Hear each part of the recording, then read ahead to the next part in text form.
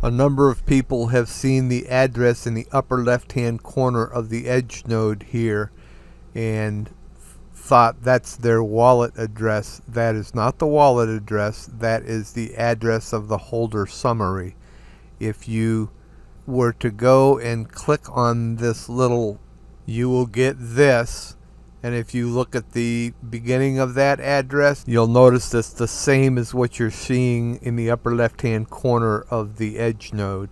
It is the address of the holder summary, not the holder summary itself. So once you're able to actually stake to the holder summary, if you were to then go to this address, you would see the amount of T-Fuel that you have staked. Hopefully that clears things up for you. By the way, each edge node will have its own unique holder summary.